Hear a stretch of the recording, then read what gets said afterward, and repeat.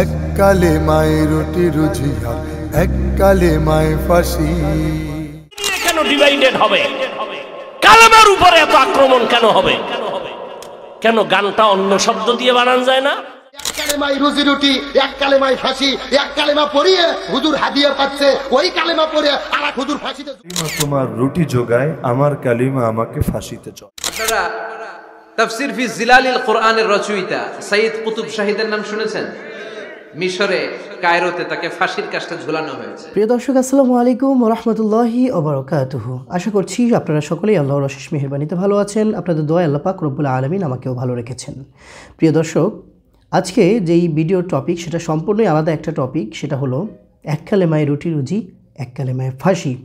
তো এই জিনিসটা আপনারা সকলেই অবগত আছেন, অবগত হয়েছেন যে আরও আজ থেকে এক বছর আগে এই এক কালেমায় রুটি রুজি, এক কালেমায় ফাঁসি, এই টপিকটার উপরে আমাদের জনপ্রিয় নাসিদ শিল্পী মুশিউর রহমান সাহেব তিনি একটা গজল আপলোড করেছেন তার ইউটিউব চ্যানেলে এক বছর আগের ভিডিও এটা।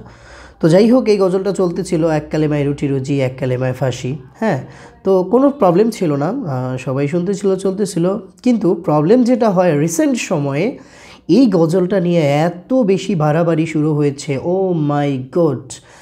আপনার ফেসবুক ইউটিউব টিকটক সব জায়গায় এই বিষয়টা নিয়ে শুধু ঘাটাঘাটি বিষয়টা নিয়ে বাড়াবাড়ি চলতেছে। তো কি হলো আদ্যপান্ত আজকে জানাব। এবং অবশ্যই বিষয় যেটা, সেটা একটু সংক্ষেপে বলে দিই। সেটা হলো এই বিষয়টা এতদিন ঠিক থাকলেও হঠাৎ করেই রিসেন্ট সময়ে আমাদের জনপ্রিয় একজন ইসলামিক বক্তা হাফিজুর রহমান সিদ্দিকী উর্পে কুয়াকাটা। তো এই যে হাফিজুর রহমান সিদ্দিকী সাহেব এই যে গজলটা নিয়ে খুবই খুবই খেপে গেলেন খুবই তার মানে গায়ে লেগে গিয়েছে। তিনি খুবই রাগ ছাড়লেন ওয়াজের মাঠে যে এই ধরনের কথা কেন বলা হবে, কেন এগুলো বলল হ্যাঁ কেন এগুলো বলবে এক কালেমে রুটি রুজি। তাহলে কি তাদের কালেমা তাদেরকে জান্নাতে নিবে, তারা জান্নাতে চলে যাবে? মানে মূলত হচ্ছে তিনি একটা অপব্যাখ্যা দিয়েছেন, এটার যেই মিনিংটা কথাটা বোঝাতে গিয়ে হয়তো তিনি ভালোভাবে বুঝাতে পারেননি। তার ভাষ্যমতে তারই এই বক্তব্যের প্রতিবাদে বিভিন্ন আলেমগণ, যেমন হাবিবুর রহমান যুক্তিবাদী রয়েছেন, তেমনি রয়েছেন মুস্তাফিজ রহমানই রয়েছেন, এবং মিজানুর রহমান আজহারি সহ কয়েকজন বক্তার বক্তব্য তুলে ধরবো ইনশাআল্লাহ। তো চলুন সর্বপ্রথম আমরা দেখে আসি যে হাফিজুর রহমান সিদ্দিকী সাহেব আসলে মানে বিষয়টা কি নিয়ে রাগ ঝাড়লেন বা বিষয়টা কি বললেন সেটা আমরা শুনে আসি। তারপরে তার কথার পরিপ্রেক্ষিতে তার যে এই ব্যাখ্যাটা ভুল, সে যে আসলে বুঝতে পারেনি, সে যে একটা ভুল ব্যাখ্যা দিয়েছে, এটাও অন্য অন্য আলেমদের মুখ থেকে আমরা শুনে আসব। তো চলুন সর্বপ্রথমে হাফিজুর রহমান সিদ্দিকী সাহেবের কথাটুকু আমরা আগে শুনে আসি। তো দেখতে থাকুন আপনারা। শিল্পী গাল বানাইছে গান। এক কালেমায় রুটি রুজি আর এক কালেমায় ফাঁসি এখন যখন এই কথা বলছি, এটা নিয়ে এখন ফেসবুকে ট্রোল করতেছে। এখন ঘুরাইয়া নিতেছে কই? মিশরের কিনা? কুতুব সৈয়দ কুতুব শহীদ রহমতুল্লাহ আলাই ওরে, কুতুব শহীদ রহমতুল্লাহ আলাই যদি হয়, তুই এখানে দাড়ি কাটটা এরপরে বাংলায় গাইয়া, আবার তোদের মৌলবীদের ছবি দিছ কেন? রুটি রুজির সাথে আমাদের দেওবন্দীদের আলেমদের ছবি দিছ কেন? ফাঁসির সাথে ছবি দিয়া তোদের আলেমদের ছবি দিছ কেন? এই কালেমা নিয়া উম্মতকে ভাগ করলে কেন? তুমি এক দল করো, আমি আর এক দল করি। কালেমা তো সবার এক। কথা বলেন না কেন? কালেমাকে নিয়ে কেন ডিভাইডেড হবে? কালেমার উপরে এত আক্রমণ কেন হবে? কেন গানটা অন্য শব্দ দিয়ে বানান যায় না? কালেমার উপরে আক্রমণ কেন? এক কালেমায় রুটি রুজি আর এক কালেমায় ফাঁসি। কি বিষয় কি? কালেমাকে আলাদা করছ কেন? এরা উম্মতের চূড়ান্ত ফেতনাবাজ। ওদের আপদ মস্তকে হিংসা ঢুকানো, ওদের রক্ত না পাক গোস্ত না পাক হিংসার দাবানলে ওরা নিমজ্জিত হয়ে আছে। তো যাই হোক গাইস আপনারা যখন দেখলেন যে হাফিজুর রহমান সিদ্দিকী সাহেব কি কথাটা বললেন, আসলে আমার যতটুকু ব্যক্তিগত অভিব্যক্তি, সেটা হচ্ছে উনি বিষয়টাকে আসলে ওনার গায়ের মধ্যে নিয়ে নিয়েছেন। কিন্তু যদিও এটা মোটেও ওনার জন্য উচিত হয়নি, তা কারণ গজল একটা গান রচয়িতা, রচনা হইতেই পারে, কারণ বাস্তবে তো এই ঘটনাটা হয়েছে। বাস্তবে তো ওনার সাথে এই ঘটনাটা হয়েছে সেই জন্য একটা লোক গান লিখেছে, তো তার অপরাধ কি? তাই বলে কি তারা জান্নাতে যাবে, ফাঁসির মানুষ ঝুললে? আপনি যাবেন না, এটার ব্যাখ্যা তো এটা না। এটার ব্যাখ্যা যেটা, সেটা আমরা চলুন আব্দুল সালাম যুক্তিবাদী সাহেবের মুখ থেকে শুনে আসি একটু। দেখতে থাকুন আপনারা। জন্য একজন শিল্পী কত সুন্দর করে গান বলেছিল, এক কালেমাই রুজি রুটি, এক কালেমাই ফাঁসি। এ কথা কন না কে? কিন্তু এই ইসলামী গান শোনার পরে অনেকের শরীরে চুলকনি শুরু হয়েছে। যুবকেরা কথা কয় না। আজকে সারাটা দিন তোলপার চলতেছে এই গানটা নিয়ে। বলতেছি, এক কালেমাই রুজি রুটি, এক কালেমাই ফাঁসি। এই গানটা কেন বলা হলো? কেন বলা হলো বলার ব্যাখ্যা কি? সেই ইচ্ছে মতো ব্যাখ্যা দিচ্ছে যে কারু কালেমাই রুজি রুটি, কারু কালে মাই ফাঁসি মানে যারা ফাঁসিতে ঝুলেছে, তারা জান্নাতে চোদ্দ গোষ্ঠী সহ গেছে। যারা ফাঁসিতে ঝোলেনি, তারা জান্নাতে যেতে পারবে না, ধ্বংস হয়ে গেছে। এখন বলেন তো দেখি, এটা কি এই গানের ব্যাখ্যা? কথা বলেন এই গানের ব্যাখ্যা? তোমার তো ইতিহাস জানা নেই। ইসলামী ইতিহাস বড় নাই। কালেমা পড়ানো ফাঁসির আগে আপনাকে কালেমা পড়তে হবে। তখন আল্লামা সৈয়দ কুতুব শহীদ বললেন, তুমি যে আমাকে কালেমা পড়তে এসেছ, এর বিনিময়ে তোমার লাভ কি? সে বলতেছে, সরকার আমাকে হাদিয়ে দেয়, সরকার টাকা দেয়, আমাকে চাকরি রেখেছে। আমার দায়িত্বই হলো মানুষকে কালেমা পড়ানো। তখন আল্লামা সৈয়দ কুতুব শহীদ রহিমা রহিমাহুল্লাহ বলেছেন, তুমি কি জানো, তুমি যে কালেমা আমাকে পড়াতে এসেছ, ওই কালেমার ব্যাখ্যা লেখার কারণে আমার গলার মধ্যে দড়ি ঝুলতিছে। কথা বলে না কেন? এই উক্তিটি গোটা পৃথিবীতে স্বর্ণাক্ষরে লেখা আছে। আর এই ইতিহাসকে স্মরণ করে কবি গান লিখেছে, এক কালেমাই রুজি রুটি, এক কালেমাই ফাঁসি, এক কালেমা পড়িয়ে হুজুর হাদিয়ে পাচ্ছে, ওই কালেমা পড়ে আর হুজুর ফাঁসিতে ঝুলতিছে। কথা বলেন না কেন? আর তুমি ব্যাখ্যা করলে কি? তো দর্শক আপনারা দেখলেন হাবিবুর রহমান যুক্তিবাদী সাহেব খুব সুন্দরভাবে আসলে এই জিনিসটা বুঝিয়ে দিয়েছেন। আসলে এই জিনিসটা তার বোঝার বলছিল এই জন্য তিনি তার গায়ের মধ্যে টেনে নিয়ে তিনি রাগান্বিত হয়েছেন। ওয়াজের ময়দানে এগুলো আসলে কাম্য নয়। বন্ধুরা চলুন এখন আমরা মুস্তাফিজ রহমানী সাহেব যিনি অনলাইনে ব্যাপক পরিমাণে ভাইরাল খুবই ভালো একজন ভালো মানের একজন আলেম মুস্তাফিজ রহমানী সাহেব। তো মুস্তাফিজ রহমানী সাহেবের মুখ থেকে আমরা একটু শুনে আসি। ভাই মানলে পুরোটা মানেন। অর্ধেক মুসলমান, অর্ধেক অন্য ধর্মের, অর্ধেক খ্রিস্টান, অর্ধেক হিন্দু, অর্ধেক বৌদ্ধ, অর্ধেক মনে করেন নাস্তিক, এরকম ইসলাম মানা যাবে? মানলে পূর্ণাঙ্গ ইসলামে দাখিল হন। কেউ কেউ কালিমার দাওয়াত দিয়া রোস্ট খায়, ব্রোস্ট খায়, পোলাও পায়, মাল পায়, আর কেউ কেউ কালেমার দাওয়াত দিয়া পাথরের আঘাত খায়। কেউ কেউ কালিমার দাওয়াত দিয়া বুকের রক্ত ঝরায় কেউ বা কালিমার দাওয়াত দিয়ে ফাঁসির কাস্টে উঠে ঠিক কেনা? নবীজি সাল্লাহ আলাইসাল্লাম কালেমার দাওয়াত দিয়েছেন, তাইফে রক্তাক্ত হয়েছেন, ঠিক কেনা? আমার নবী কালেমার দাওয়াত দিয়ে ওহুদে রক্তাক্ত হয়েছে। আমার দেশের অবস্থা চিন্তা করেন, মুসলমানদের অবস্থা কি এখন? লাউ খাওয়া সুন্নাত, মিষ্টি খাওয়া সুন্নাত, বিয়ে কয়েকটা করা সুন্নাত, দুপুরে খাইয়া দেয় একটু ঘুমানো সুন্নাত, এই সুন্নতগুলো বাঙালি খুব বুঝে, প্রয়োজনে আল্লাহর রাস্তায় লড়াই করা। প্রয়োজনে মানুষের জন্য বাড়ির পাশে রাস্তা ছেড়ে দেওয়া। প্রয়োজনে মানুষের জন্য রাস্তাঘাট নির্মাণ করা। প্রয়োজনে মানুষের জন্য নিজের খাবারটাকে অন্যের মুখে তুলে দেওয়া। এ সমস্ত সুন্নাত প্রয়োজনে বুকের রক্ত ঢালা।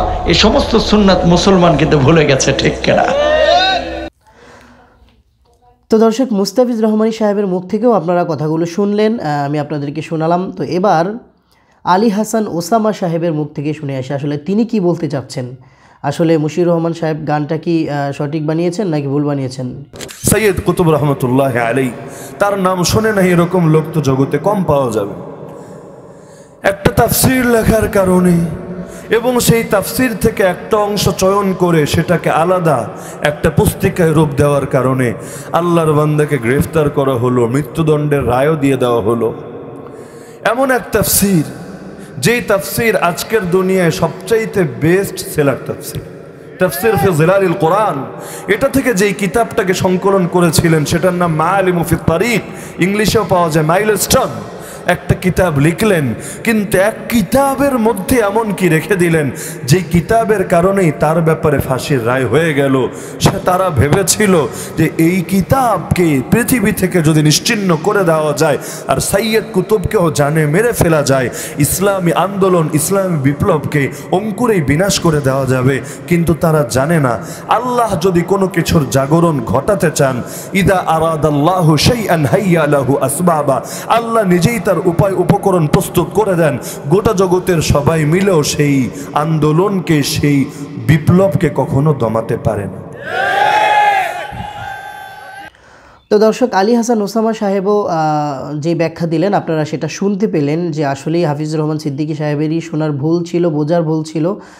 তাদেরকে উদ্দেশ্য করে আসলে বলা হয়নি। তো যেহেতু আপনি সে এটা তার গায়ের মধ্যে টেনে নিয়েছে, আসলে এতে বোঝা যায় যে তার নিজের ক্ষতি নিজেই ডেকে আনলো। সে নিজেই এটা তার গায়ের মধ্যে টেনে নিয়ে সে প্রকাশ করে দিল যে না, তাদের মধ্যে এই গুণগুলো আছে। তো এটা তার একদমই উচিত হয়নি, আমি মনে করি। এটা তার বোঝার ভুল ছিল। তো এবার চলুন, মিজানুর রহমান আজহারি সাহেব এই ব্যাপারে কি বলছেন, আমরা একটু শুনে আসি। বিপ্লবী কালিমাকে, একটা সংগ্রামী কালিমাকে আমরা ভিক্ষার জিকির বানিয়েছি। আপনারা তাফসির ফি জিলালিল কোরআনের রচয়িতা সাইদ কুতুব শাহিদের নাম শুনেছেন? মিশরে, কায়রোতে তাকে ফাঁসির কাজটা ঝুলানো হয়েছে। উনি ইসলামী আন্দোলনের দাওয়াত যখন শুরু করলেন, ইসলামের সঠিক ব্যাখ্যা যখন দিতে আরম্ভ করলেন, সামাজিক জাহালাতকে, দুমড়ে মুচকে, মুচড়ে পদদলিত করে তিনি কোরআনের বাণী যখন মিশরের যুবক শ্রেণীদের হৃদয়ে গেড়ে দিতে চাইলেন, প্রথিত করতে চাইলেন এই অ্যাক্টিভিটিজের অংশ হিসেবে তিনি কোরআনের তাফসির লেখার কাজে হাত দিলেন। আর লিখে ফেললেন জগৎ, বিখ্যাত তাফসির তাফসির ফি জিলালিল কোরআন। যেই তাফসির পড়ে পড়ে অনেক ছেলে পথের দিশা পেয়েছে। ঠিক কিনা? এই তাফসির লেখার কারণে মিশরের মধ্যে নতুন আন্দোলন তৈরি হয়ে যায়। সবার মুখে এক কথা, সৃষ্টি যার আইন চলবে, আল্লাহর আইন ছাড়া অন্য কোন আইন দিয়ে মিশরের মুখে কোনো বিচার আমরা হতে দেব না। মিশরের তাগড়া যুবকগুলো কায়রোর রাস্তায় নেমে এলো। ঘোষণা দিল, সৃষ্টি যার, আইন চলবে তার। চোরের হাত কেটে দাও, ধর্ষকদের শাস্তি দাও জনসম্মুখে, ঠিক কিনা? দুর্নীতিবাজদেরকে আইনের আওতায় আনো দেশের শত্রু, দশের শত্রু, স্বাধীনতার শত্রু, সবগুলার বিচারের আওতায় আনো, কোরআনের আলোকে, ঠিক কিনা? সংগ্রাম বিক্ষোভে ফেটে পড়ল পুরো মিশর। এই বিক্ষোভে টালমাটাল সরকার, জামাল আব্দুল নাসের। কোন উপায় অন্তর না পেয়ে এই তাফসির কারও এই মুফাসিরে কোরআনকে জেলের ভিতরে ভরছে।